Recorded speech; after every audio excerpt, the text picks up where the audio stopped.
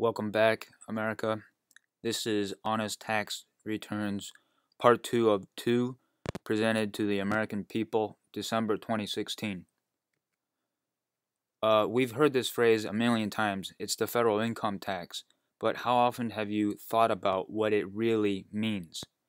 The most important question about the federal income tax is Is it the federal tax on income? Or is it the tax on federal income? For that, let's uh, go to an analogy. We'll call it the black bus driver analogy. Is it a black man or a black driver driving a bus, or is it a black bus being driven by a driver? My opinion is that a black bus driver is a driver driving a black bus and therefore the federal income tax is the tax on federal income. The reason I say that is because the black, the word black, is an adjective, and an adjective always describes the word that comes right after it. So the black bus is the is the black is the bus which is black, and the driver is the driver of the black bus. Therefore, that federal income tax is the tax on federal income. Now let us show through congressional um, paperwork, uh, Supreme Court cases, and also the IRS's own website that the federal income tax is a tax on the federal income. First piece of evidence I like to present is the original 1862 tax return, where it says to the effect that it is the income subject to a tax under the excise laws of the United States. Now, just in case you think this is some random library clipping, let's show you almost the exact same form, but this one is taken from the IRS website. Um, I don't know if it'll be there long, but go to it and see see for yourself. Uh, and basically, it says exactly the same thing. You could read it if you like, but it says if you take away all the all, all the distractors, it says it's an income subject to an excise tax of the United States. Income subject to excise laws. So, what is excise? Well, excise, if you talk to a surgeon, means to cut. To make an excision is to cut. So, an excision biopsy is to, to cut something and take a biopsy of it. So, an excise means to cut. In, in, in legal terms, excise laws is defined at Black's uh, Fourth Law Dictionary as a law imposing excise duties on specified commodities. Um, so, for instance, if you buy alcohol, you're subject to the excise tax on alcohol. Now, if you don't buy alcohol, are you still subject to the excise tax on alcohol? In other words, can you excise something that you don't have or that you don't use? I'll let you answer that question. The next piece of information I want to show you is the Congressional House record from 1943. In there, I'm going to highlight two spots and I'm going to zoom in on them. And let's read what they say. The first, it says, the income tax is an excise tax, and income is merely the basis for determining its amount. The second line says, the Supreme Court held that the tax based on income was not a direct tax, but was an excise or duty and as such did not require apportionment among the states. That's Springer versus United States. Um, this decision, rendered after the income tax had been thoroughly tested for a period of 10 years, represents a deliberate determination as to the fundamental nature of the tax. So, in 1888, that was before the 16th Amendment, it was an excise tax, and that was the fundamental nature of the tax. Let's read on in this um, congressional records. We're going to go to the next page. We're going to highlight this little section. Um, and you can read the rest of it if you want, just it'll take some time. And let's zoom in.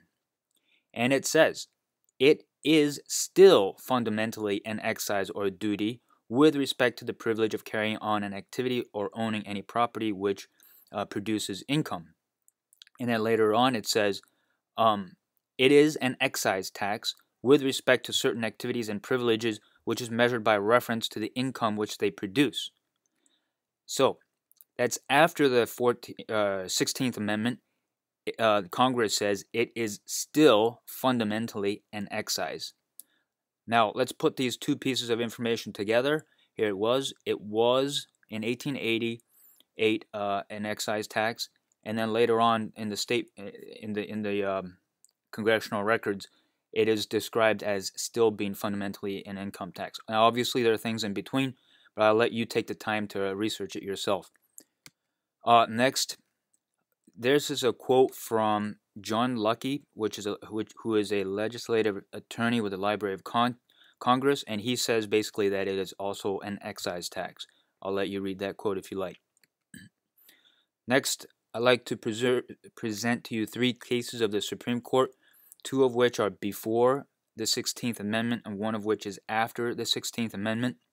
They will be covered later on in this presentation and other parts, but basically they all say that uh, the the federal income tax is an excise tax, is an excise tax or a duty. Um, so all three branches agree. Federal income tax is an excise tax. But suppose I'm wrong and all three branches of government are wrong. What does the IRS write about the federal income tax? Well, let's look at 1040 instructions. And there's a bunch of things that are uh, written in the 1040 instructions. Among them are all these references to federal income, federal income tax, federal income tax. And you can see them all over the paperwork. Now, what do you notice about the way it's written? Well, the first thing I notice is that the word federal is not capitalized. That means it is an adjective. It is not a pronoun, as most people might think, because the federal government, you know, they think it's a pronoun. But it's a it's a it's an adjective. And what does an adjective do? Well, following nothing more than the standard rules of English grammar, we can say that the federal income tax is the tax on federal income based on the foregoing discussion about the black bus driver. What is the significance? Well, an excise tax can be lawfully avoided by avoiding the activity or abstaining from the benefit on which the excise is laid. If you wish to avoid federal income tax, then avoid federal income. What do I mean by that? Number one, don't accept federal income or statutorily defined wages. Number two, don't exercise or participate in a federal privilege which would result in income. Number three, don't claim federal income if you didn't, in fact, receive any federal income. Number four, don't let anyone else claim federal income on your behalf if you didn't, in fact, receive any. And number four is where everybody gets in trouble because we're always accusing each other of things that we didn't do or have. But most of all, throughout this presentation, you'll hear this. You got to be honest. Just be honest. The truth will set you free. Okay? Like, for instance, here's Honest Abe. What do you think he says? He says, no federal income, no federal income tax. That is just a true statement. Much like Benjamin Franklin would have said, no farms, no farm girls. Those are equally uh, valid statements in logic and law and uh, in, in day-to-day practice. So, to see practical examples of how these concepts are applied on IRS forms, please watch part 1. The rest of this six-part video series will go in depth to provide the theoretical support for the paperwork shown in part 1.